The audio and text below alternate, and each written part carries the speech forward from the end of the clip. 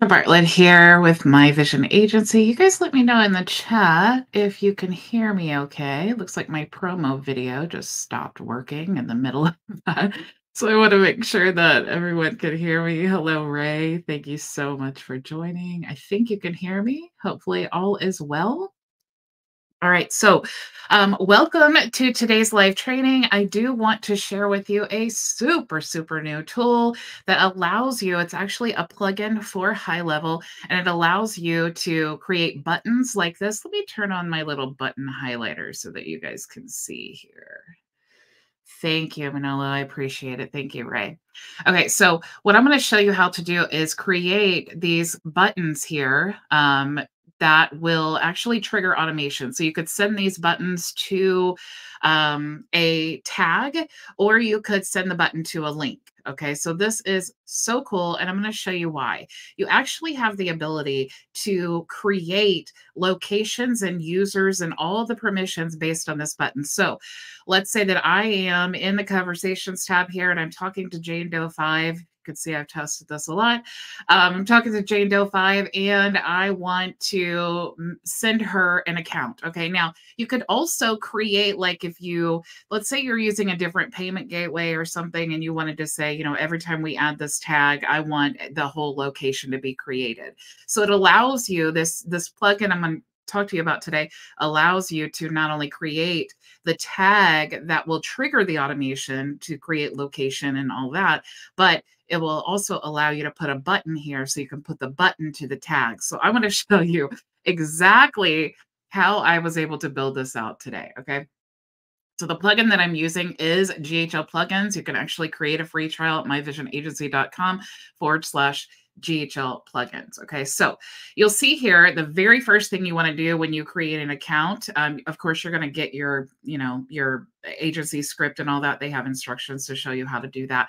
Um, really simple. But what you want to do is go into the profile and you want to create links. Okay, so you're going to click here to create a link. And I'm sorry I can't show you everything, but um, you want to uh, go to the create a link and then you're going to choose on that link that you're creating you're going to choose what tool that is available up here what tool do you want to add to that link okay? Then when you create the link you're going to create a custom menu link inside of your agency. It's really simple to do um, so you want to go to you know choose an icon you're going to give it a name and you're going to paste that link here you want to choose to have this open in the iframe so it doesn't leave the window.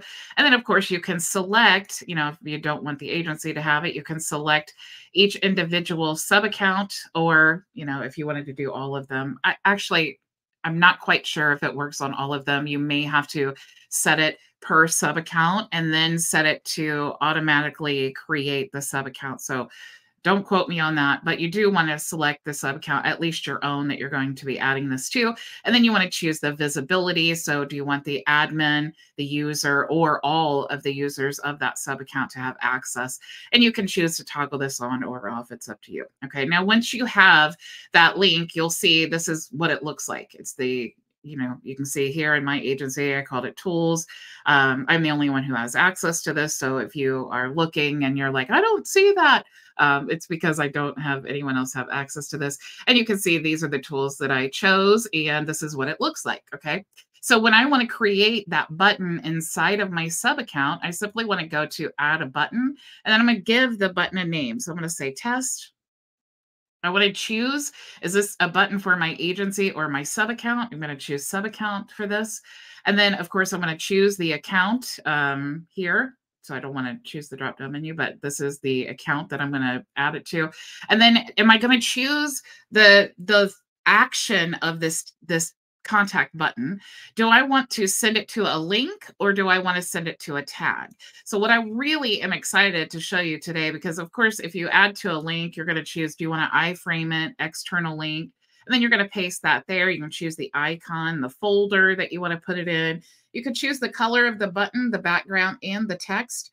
And then you could also choose some custom fields here. And it says the value of these custom fields will be appended to the URL for a link button. So it gives you an example there. Okay, so if you wanted to carry info um, from your the contact area to um, another link like a form or something, you could add that there. Okay what I'm really excited to show you is the tag option because this is so, so helpful um, when you are in that conversations tab here to be able to trigger those automations, to be able to, for example, maybe create a task if you're using the task management system or fill out a form or something like that. that or maybe there's an external website that you're working with that you need to access many times a day. You can add that to the button there. Um, this one here is the one that I created the tag. So you're just going to choose whatever you want your tag to be. Okay. So if I wanted every time I add the tag test to trigger an automation, then that's what the tag that I want to add here. Okay. I could also choose the icon that I want it to be. So let's say this one. And then I can choose the folder that I want to add it to. Um, and then I can choose the color. Okay. So if I wanted like, let's say red, and then we could have the background color maybe would be, um, let's say green. We'll just make it really obnoxious. Okay. So you can see that's what the button would look like. And then of course I could save the changes. All right. Now what happens, how, how does all of this work? Right. Well, for, of course, here now, the way that we set this up, and of course, if you're setting this up the first time, give it about 10 minutes before the buttons actually show up here. But once you create them here, they're going to show up in that profile area. Okay. So how do we get this button to trigger an automation? Well, all you need to do is go inside of your HighLevel account, and then you're going to choose the tag that you want to trigger that where you click that button and then you want that workflow to trigger. Okay.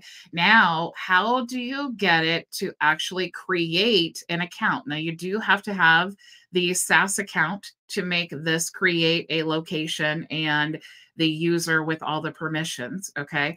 Now let me drag this over here because I am live and there's some things that I can't show. So I'm going to go to that specific tool here, location creator. Let me drag this up just one second. I'm grabbing it. And as soon as the page loads, I'll be able to show you what I'm looking at here. Um, so, so sorry about this. Let's go back here. Of course, things want to load slow when I'm live and when people are waiting. Alrighty, so here we go. Let's move this over. So inside of GHL plugins, again, you have the ability to create this location. So I'm going to take you into the back end of mine and you can see what it actually looks like. All right. So you could click there to add it if you didn't have one.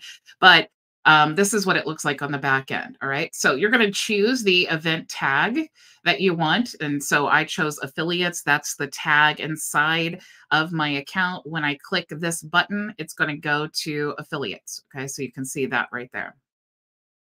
Now, when I, I, of course, I'm going to name this template. I just called it affiliates. I know it's super creative.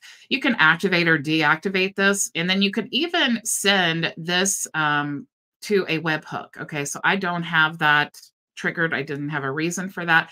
Um, so the next step is now you want to create the location. Okay, so it's going to basically what we're doing is um, in the account name, we want to choose what account name do we want to be there, right? So when you choose from this drop down menu, the contact fields inside of HighLevel, when you choose what field is going to be the account name, you just select it and then it adds the custom value there. Okay. Now, of course, you're going to choose all those custom values there. Um, step two, you want to choose the owner name, the owner last name, and of course, when you're choosing that, again, what's what's the owner name going to be? The owner last name. It's going to be last name, right?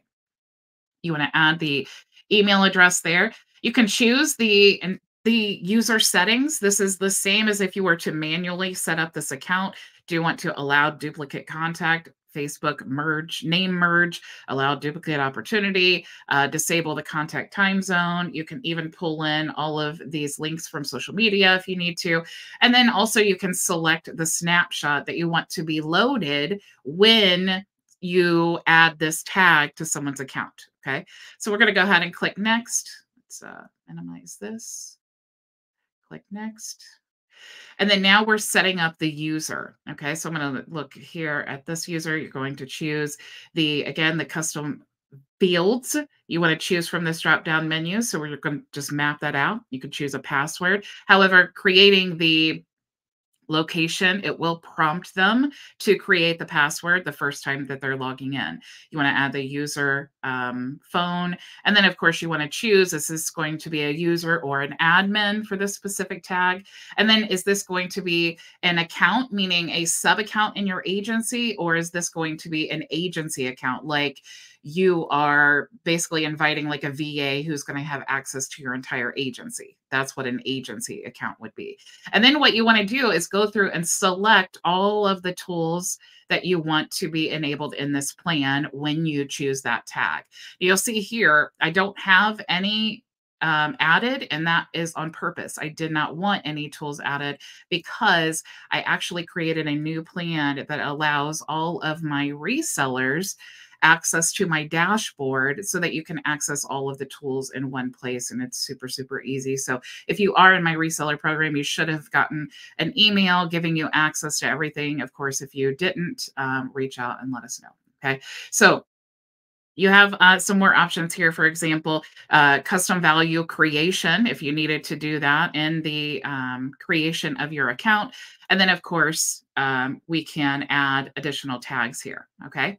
So this is how it is set up. Okay. So once this is all set up through GHL plugins and you have added the code to your agency and all the initial setup things. Okay. Now what happens is this tag, anytime, whether I use the button option or not, as long as this automation is set up to trigger for that tag, anything that happens here is completely automated, right? And you can see this is my whole setup here. So we're creating a brand blast account. We're waiting a minute, adding a tag, removing some tags, updating contact fields, adding notes to the profile.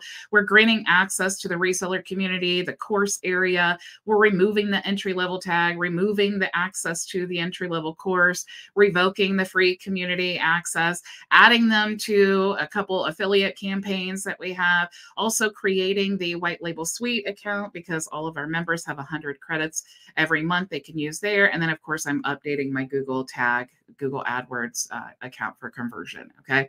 And then we're adding a newsletter tag. So that's my real life workflow every time uh, a new reseller account is created. Okay, it's creating that location account. It's not creating any tools, but they will get access to all of the options here on the side where it's the AI leads, AI coach. So all of you guys now have access to Hey Levi, which you did not before. Typically, it was only my um, my all tools plan members that had access to that, but you'll also see you have access to the social autopilot here, the content AI, and our community as well. Okay, so definitely check all of that out. Reach out if you have issues.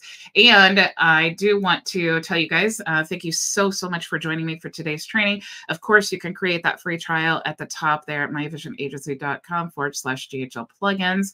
You can also go to myvisionagency.com to check out any of our plans. And if you are a member of our free community or our reseller community. Um, as soon as we're done with this training, you want to go to the events calendar. You're going to click here and you'll be able to uh, join me in a Zoom room for open office hours. So if you have questions, definitely feel free to reach out. If you're not a member of our free community, you can do that at myvisionagency.com as well. Okay.